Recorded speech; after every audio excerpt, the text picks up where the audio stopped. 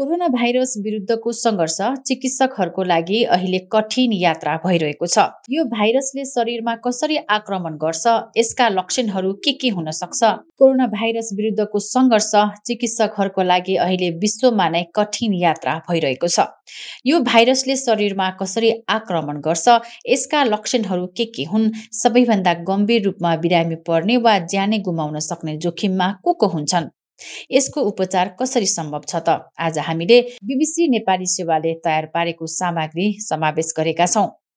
महामारीको सबैभन्दा ठुलो मार झेलिरहेको चिनको बुहान स्थित एउटा अस्पतालले यसबारेमा उत्तर दिन थालेको छ।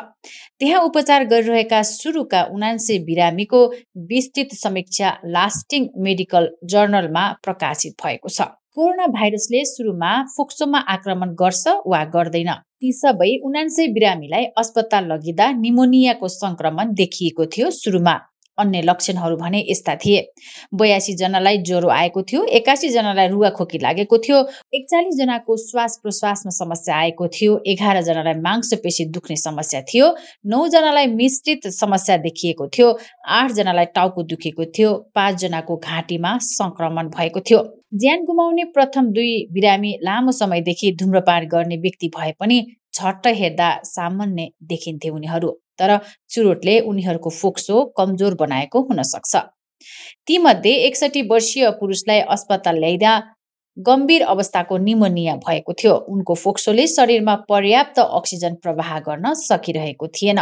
भेन्टिलेटरमा राख्दा पनि उनको फोक्सोले काम गर्न सकेन र उनले सास फेर्न छोडे। अस्पताल भर्ना भएको एघार दिनपछि उनको मृत्यु भयो। अर्का बिरामी उनसत्तरी वर्षीय पुरुष थिए। उनलाई श्वास फेर्न गाह्रो भइरहेको थियो। उनलाई एउटा कृत्रिम फोक्सोको सहायतामा राखिएको थियो। गम्भीर निमोनिया र शरीरभरि सङ्क्रमण फैलिएपछि रक्तचाप हुवात्तै बढ्यो र उनको मृत्यु भयो। जनवरी पच्चिससम्ममा ती उनान्से बिरामी मध्येमा दस प्रतिशतको मृत्यु भएको छ। जना अझै अस्पतालमा छन् एकतिसजना घर फर्किसकेका छन् एघारजनाको मृत्यु भएको छ।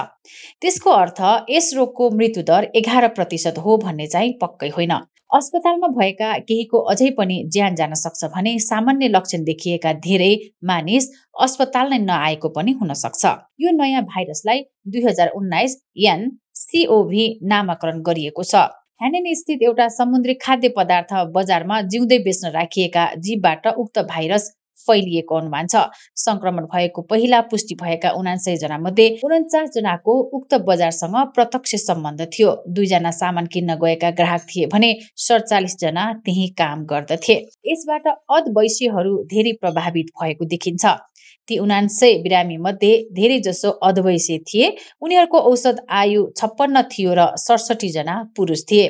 यो उनान्सय सबैभन्दा पहिला संक्रमित हुने बिरामीहरूको हामीले कुरा गरिरहेका छौँ।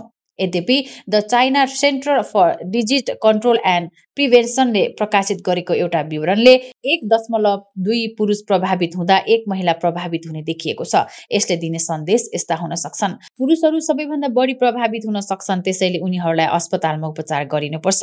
सामाजिक र सांस्कृतिक कारणले गर्दा प्रकोपको आरम्भमा पुरुषहरू भाइरसको संक्रमणमा धेरै परेको पनि हुन सक्छन्। ती उनान्सय जना मध्ये धेरैजना पहिले नै अन्य रोगबाट पीडित थिए। त्यसैले कमजोर प्रतिरक्षा प्रणाली भएको हुनाले भाइरसको सङ्क्रमणमा छिटो परेको हुन सक्छ चालिसजनाको मुटु कमजोर थियो वा रक्त नलीहरू बिग्रिएका थिए। उनीहरू हृदय रोग र स्ट्रोक जस्ता समस्याबाट पीडित थिए। बाह्रजनामा मधुमेह थियो।